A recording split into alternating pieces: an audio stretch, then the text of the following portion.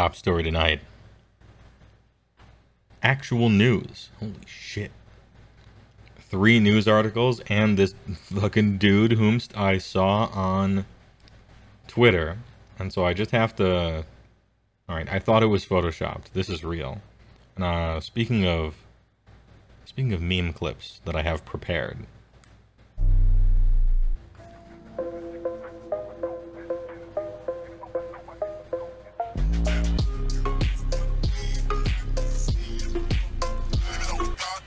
That's really all I have to say about this guy. Um, very interesting. Big brain move. what shall we... You know, let's talk about paint first. Because I'm not really a painter. I do some painting streams, but they're hella fucking boring. Um, what do we have here? A new era. A new era of paints. New contrast colors reformulated shades, and our best white spray ever. What are these new colors? Um, enhance. Enhance. Alright. These look like game pieces for a board game. But obviously these are unfinished. It's looking pretty vibrant actually. This is very vibrant. These colors, these colors here. Cool. Let's read on. Ahem. Paint makes Warhammer. And gorgeous miniatures are a key part of the Warhammer hobby. There's nothing better than two epic-looking armies facing off on the battlefield, and we all take great enjoyment sharing our proudest paint jobs on the intranet. True. To help you keep creating incredible armies and jaw-dropping models massively expanded. massively expanding. Alright, nice.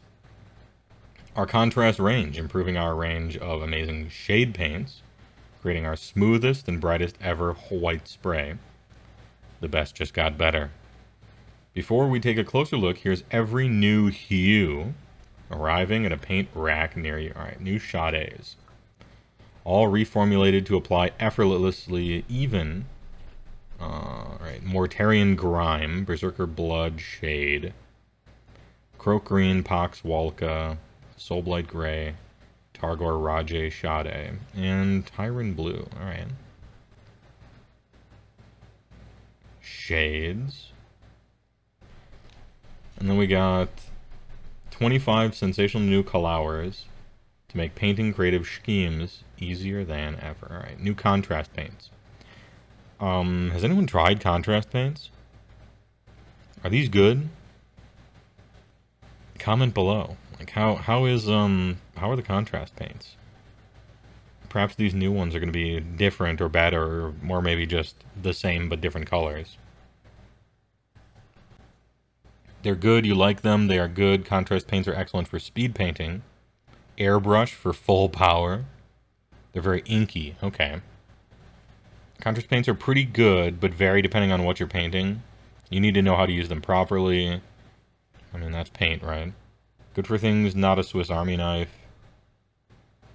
It's the only GW paint you buy? Damn, that's an endorsement if I ever heard it. Very pigmented, very versatile. You love them for big terrain pieces, slop them over a Zenithal Prime. They're a good tool in the tool chest. Yeah, probably. You like the black, you dislike the white and the gray. You like contrast, and one of your main complaints was not having certain colors, and then here we go. Okay. They take to textures very well. Some of the colors are much more useful than others. They take some practice to really master. A little expensive, but great for adding vibrancy like inks. Okay. So we got, this looks like a, what is this? Bad Moon Yellow, Imperial Fist, and Iron Jawz Yellow. Three different yellows to look pretty similar, but I'm sure they don't. If this is really what it looks like, that's in, that's incredible.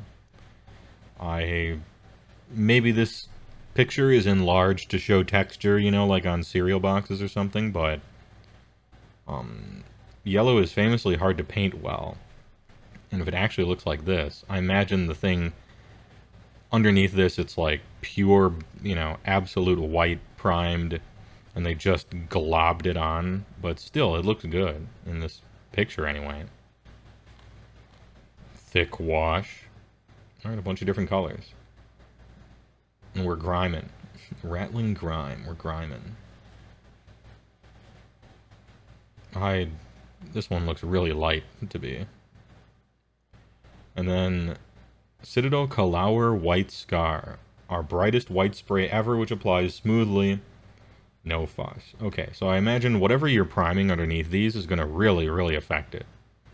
This isn't just like you're slapping on base coats and then you can't see what's underneath them. This is like... If you're going this crisp of a white, I probably can believe this yellow on top of it. Because a lot of painting has to do with what's underneath it. New contrast Kalaurs. In 2019, the alchemical geniuses of the Citadel Kalaur Labs came up with contrast. Revolutionary new range of paints made painting miniatures faster and easier than ever and unlocked fresh approaches to painting. Damn, I should have used that. I'd be done already. It helped countless hobbyists express their creativity, whether painting battle-ready armies or golden demon entries. Now, it's time to take it to the next level. 25 new contrast paints are expanding the range into a whole new realm of vibrant Kalaurs. These new paints unlock wilder Kalaur pattern, uh, palettes for your armies, meaning they'll stand out even more. Alright, cool. So this is like stuff primed in pure white, and then they just slapped a bunch of contrast over it to be like, look at how vibrant this is. I mean, it's pretty vibrant, though. Good job. And you can kind of see stuff under it. So it seems to me to be like a thick, like a thick fucking wash, essentially, right? Where Yeah, it looks like flat open areas and crevices are getting covered, but then the stuff in between, it's thinner. And so you can see a little bit of what was underneath it. Hmm. Alright. These are some of the boldest, the rules boldest and brightest Kalaurs for the contrast range. They're perfect for creating vivid finishes and striking effects. Who knows what arcane elements our paint technicians mixed up to get such vibrancy. Damn, I don't know if I want to use contrast though. Cuz it if I'm if I'm looking at these pictures right, I bet it looks pretty thin in the non you know, in the non like open area and recesses areas, right? Cuz see it we're getting some pooling here and here. I wonder how well you can paint over it, you know, like putting other stuff there. I feel like a contrast painted army it's going to look great, probably, or it'll look fine or good, but it's going to have a part like a contrast look to it. And so if I was going to paint with contrast paint, I would probably want to do it for a whole army instead of like everything's done and I bought a new squad of guys and then I'm going to do contrast on those squad. I think those squad might look weird next to it. It seems like a whole project kind of paint. Although, you know, I guess I can't say. I'm not sure. I'd have to see it in IRL and maybe try to paint with it.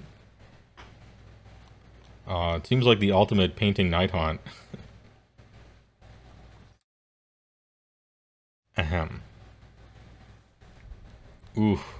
Rich and regal. This orange. It actually looks like the contrast was blasted for this photo. Like I'm, I'm losing color information here. But surely they wouldn't dial up the contrast or saturation, I mean, just to make it look different in this photo. Not every miniature needs to be blindingly bright on the tabletop, true. A rich and easy to apply color is the perfect accompaniment, accompaniment to help the vibrant models in your army stand out even more. These paints will give you reliable and resplendent results with no fuss. Ideal for the core color of an army. Um, this doesn't look good.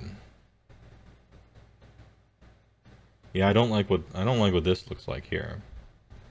That being said, it it does look cool, like the super white into somewhat of a teal, I guess, or a what would you even call it? A baby teal, maybe, or a, a super baby blue, desaturated kind of. I would I would want this for like uh, stone maybe some sort of cut stone or something. I don't know that I would do it for a ghost. I don't think this looks good. There's like too much pooling around all this stuff. But then again, you're not just you're not just only painting the model with like contrast and then saying it's done. Like obviously this is just step one, so maybe this is fine. Maybe it's fine. Um, this guy looks pretty neat. I actually like Gutrippa Flesh. This is nice. That like swampy, slimy, dirty look. Um, this one's good for maybe you have like Maybe you're painting a cornucopia and you got some squash in there. The green squash, you give it this one. Um, this one's alright. Dreadful Visage, nice. Um, also hope the pallid ghouls and ethereal entities that can discorporate in the blink of an eye. Pylar Glacier. Creates the illusion of an icy surface with no hassle. Pylar Glacier. Where am I finding that one? Where's Pylar Glacier? Oh, this blue here. Okay. I think I agree. It kind of turns him into a three-dimensional ice cube. You get a little bit of an ice cube effect with this, don't you? Yeah, I think that's... At least as I'm looking at it here, that looks pretty decent. Yeah, it's kind of like an icy surface effect. Yeah, okay um, Briar Queen chill, which sounds like you're telling her to, like it's a command. Briar Queen, chill, okay. Chill on the contrast, there's too much over here. Dreadful Visage live up to their names. Alright, cool. Green Yellow. Yeah, this green yellow is actually kind of cool. It's neat how it does both at the same time. Steadfast and grounded. Alright. Celestium blue, which do be looking a bit purple here and there as it as the color gets deeper. And then Sigvald Burgundy. God damn. Sexual Tyrannosaurus color. Sigvald Burgundy. At your service. This is like Sigvald's great great great great grandchild in the year 2000 who's like a newscaster. It's weird because I don't know that Sigvald has any burgundy on him. I thought it was like... I thought his color scheme was like... Gold, purple, and white, like royal stuff. Um, and then Storm Fiend, alright, cool. That is kind of the color that they're known for. Ooh, I like this. This, uh, greasy gear, kind of a greasy clockwork Grime, Gears and Grime, Garaghak's, Sewer. Yeah, I like this. This one looks good. That looks very nice. Any KO players in the chat? Like, this shit would be actually kind of hot on them. Good work. Shit brown. I was thinking grease, but okay. Oh, maybe his cape was burnt. Yeah, you might be right, Kish Miles. You did contrast over Zenithal for your squigs. And they blend with normal paints fine. Oh, pictures in Discord? Are we checking tapes? Alright. Tape checking in progress. Mm. Where would it be? How Happy to show on stream. Alright. This is, we got some, some checking of the tapes here. These squigs are, oh no, the, these I think you probably, you seem to have just cut them out of this one, right? Yeah. A little low res. A little low res, but they look good. They look like they actually are good if we up the resolution. Yeah, good teeth and jaws. You can see a lot of the wrinkles and everything. I think that's what they mean, right? Like if you contrast, it's going to really... It's kind of like a wash in a way, but maybe a thick wash. These guys are looking pretty good. 5 out of 7, by the way. And then obnoxious yellow, deep purple, and not and not the band, I guess. Ratling Grime looks pretty good. Similar to this, I suppose, except with more of a more of a bronze instead of a brass. And then Black Legion, which you probably have to see it in real life. I'm sure it looks better. Gotta get that sea slug soup dye. of Realms 41st Millennium boast countless miniatures. With a touch of the dark. As well as warriors clad in weathered armor and solemn simulacrums. Plus, every miniature needs to stand on something, like a solid, dependable hero rock. I believe... Okay, so I don't play 40k. I don't play 40k, but wasn't it, isn't it a tactical rock? Isn't that the term? I don't mean to speak out of turn here. But isn't it supposed to be called a tactical rock? Isn't that the meme? Or is it a is it a tactical rock in 40k but it's a hero rock in AOS? Is that what it's supposed to be? Anyway, interesting. Corporate meme confirmed. Oh yeah, sad robot. I'm glad somebody's old enough to get my solemn simulacrum joke. Bring earthier tones, forest floor, and solid colors to life is easier than ever with Garaghak's Sewer. Right, blah blah. Tyran Blue. Look at they're they're getting like super zoomed in. They're actually showing us what it really looks like. Interesting. I don't know why this shit exists. But then again, I mean maybe that's exactly the color you'd want. I feel like with a with such a light shade gray like this, anything you do above or below it is, is going to kind of render it like really hard to notice. You can't... I guess it depends on how shady it is.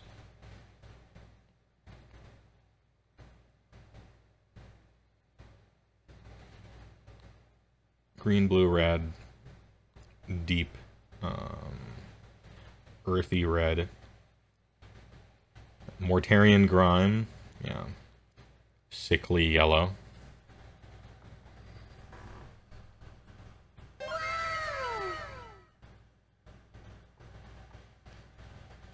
Tay Barracuda, thanks for the tier 1. I appreciate it. Citadel Colors um, experts spent many months researching, developing, and testing and painting with our Shade range to find out how to make them even better than they already are. The results of all this hard work is a total reformulation of all the shade paints and the creation of seven new shades. Oh, okay. So when you go to your local GW store, you're like, hey, are these the new shades or the old ones? I want that reformulated shit. Right, right here. I don't want that old shade. Give me that reformulated. Lead free. These shade paints are designed to provide instant depth and easily create stronger shadows, speeding up the process of creating great-looking models. Contrast paints are designed to tint surfaces and give an intense finish. New formulation ensures that shade paints will settle more effectively into the recesses of your miniatures while leaving the raised parts relatively untouched. Okay, that's what a shade's supposed to be, right? During the process of refining their recipes, our technicians were inspired to create seven entirely new paints asterisk. Knowing reformulations, the old ones will be better. Oh no. Okay, well, maybe maybe it'll be the opposite. I don't know. Formulate is to pour into a jar, is it? Less coffee staining, maybe? Yeah, maybe. Although, as I'm looking at it now, the answer is no, right? Because you're getting this. You know, you're getting this up here, you're getting this here, that there. I guess those are probably a little recessive, maybe. And a lot of coffee staining just kind of has to do with how you're applying it, not necessarily what it is. Alright. New versus old? Okay, let's see. Let's check this out. Let's check the tapes, shall we?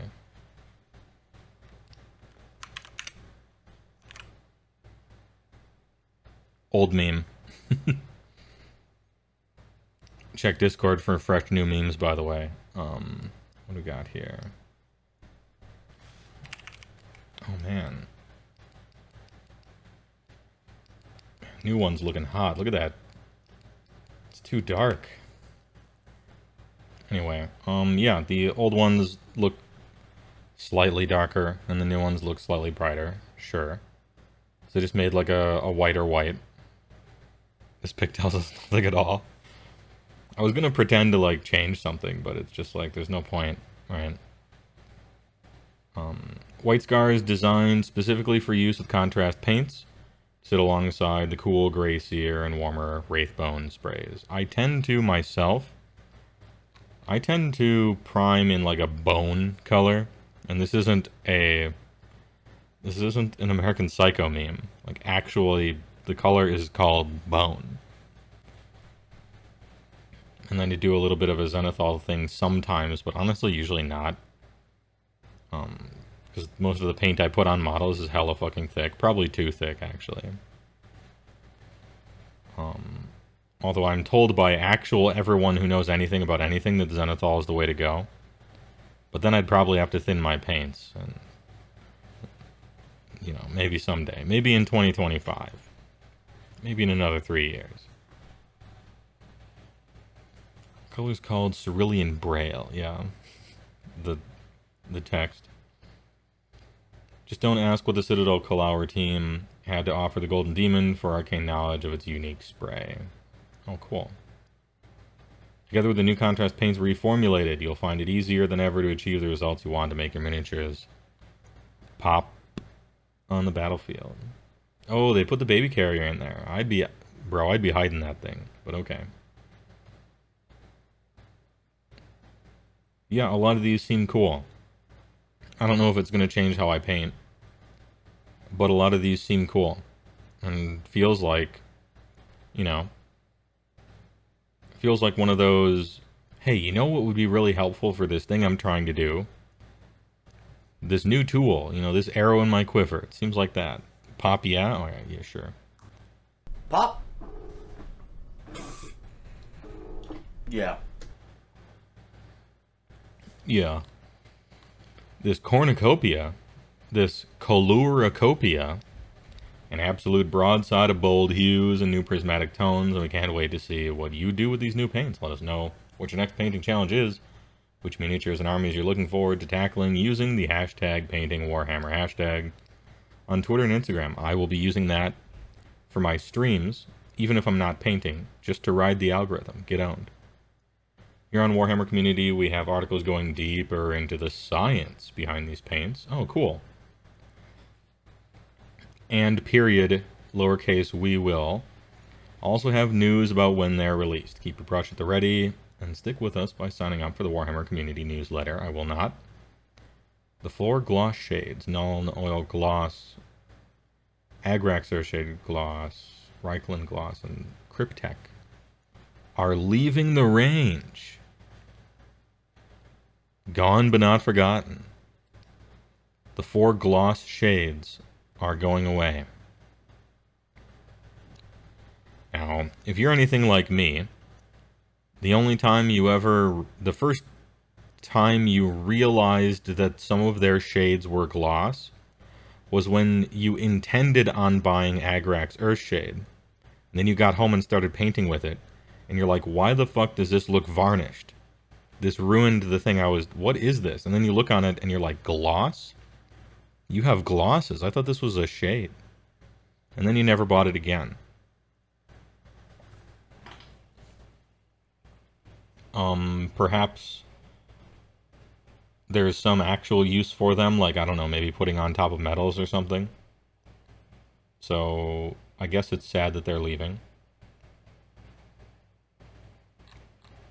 Surely there's a use for them, right? There's a use for everything painting-wise.